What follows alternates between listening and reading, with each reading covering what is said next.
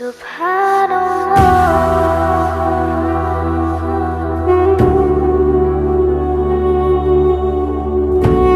उमर फारूक रज़ी अल्लाह तु की अदालत में एक मुकदमा आया।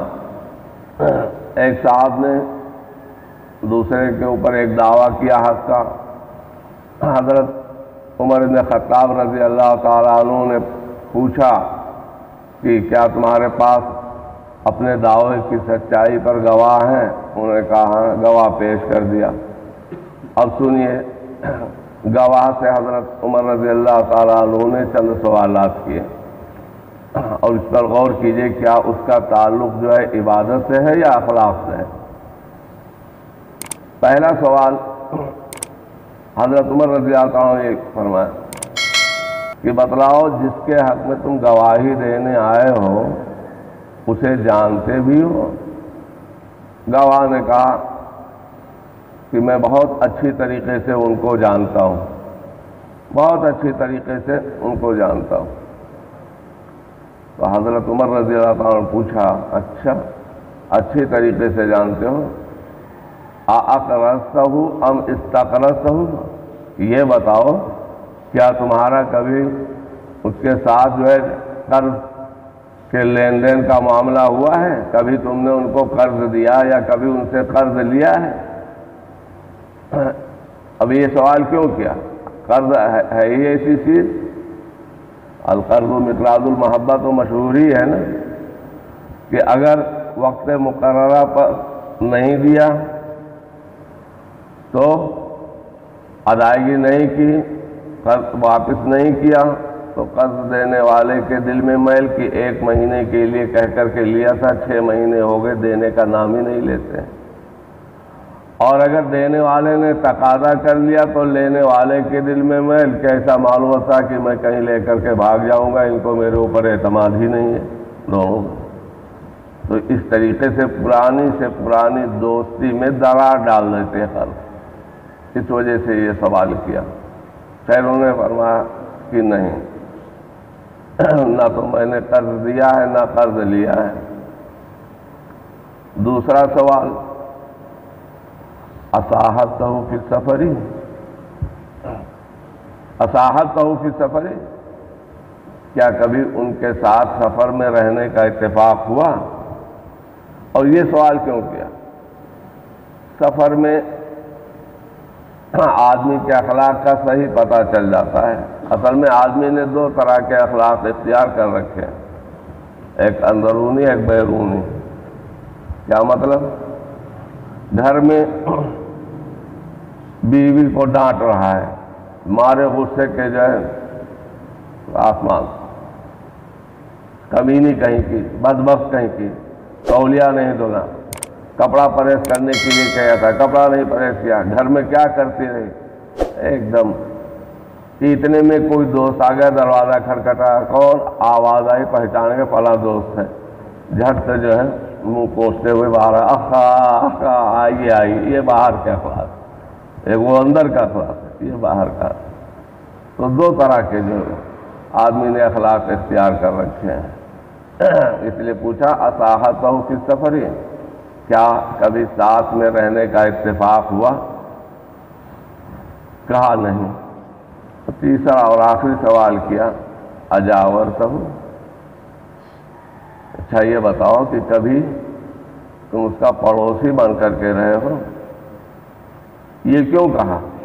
भाई, पड़ोसी के अखलाक का पता तो उस वक्त चलेगा जब जो है तीन दिन की सड़ी हुई दाल बाहर निकल करके अपने दरवाजे के बजाय बराबर में आपके दरवाजे के करीब डालेगा। पड़ोसी के अखलाक का पता तो उस वक्त चलेगा कि घर में जो है आम खा करके उसकी छिलके और गुठलियाँ बाहर आपके दरवाजे के करीब डालेगा। पड़ोसी के अखलाक का पता तो उस वक्त चलेगा जब घर का सारा कूड़ा कबाड़ अपने घर से बाहर आपकी तरफ़ फेंकेगा। पड़ोसी के अखलाक का पता तो उस वक्त चलेगा जब वो पड़ोसी के घर के पानी को अपनी तरफ़ आने से रोकेगा ताकि आपके घर के अंदर मच्छर और मेढक पले ये इस वजह से सवाल किया। अजावर तो क्या कि तुम कभी उसका पड़ोसी बन करके रहे हो? तो देखिए, हज़रत उमर रज़ी अल्लाह तु ने जो सवालात किए, इनका ताल्लुक किस चीज़ से है? इबादत से नहीं, बल्कि इनका ताल्लुक अखलाक से है।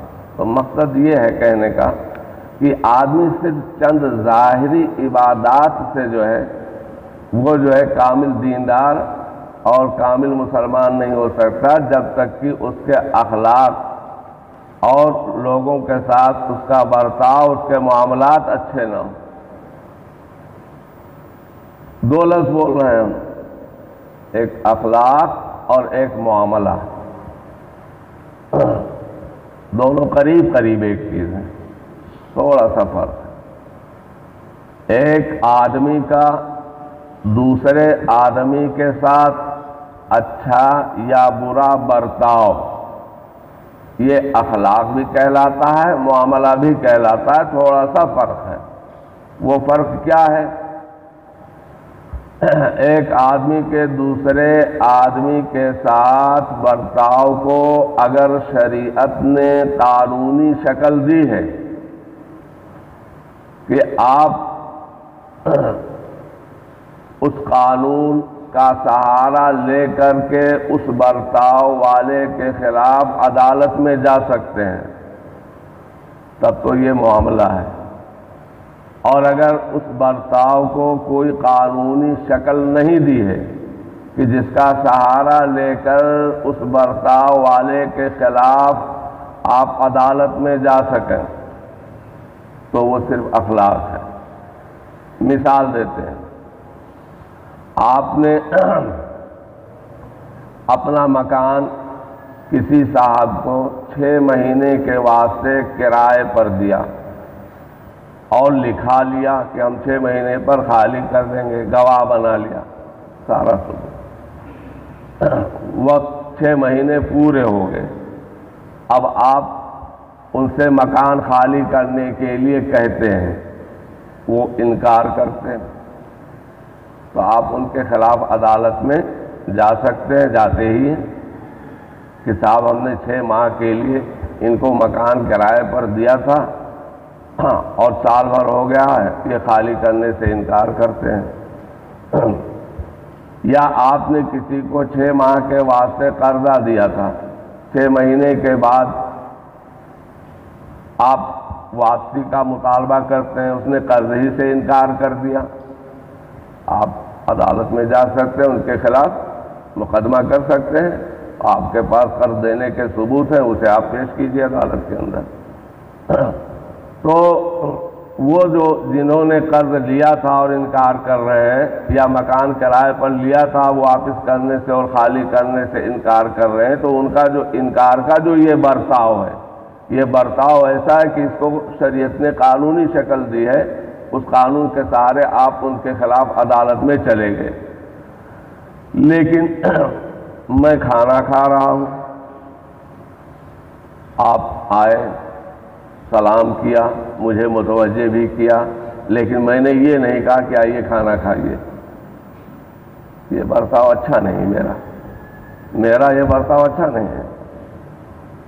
आप मैं, मैं मेरे खाना खाने के दौरान आप आ गए आपने सलाम करके मुझे अपनी तरफ़ मुतवजह भी किया फिर भी मैंने एक जबान नहीं कहा कि आओ खाना खा लो। तो मेरा ये बर्ताव आपको खाने के लिए ना पूछना ये बुरा है।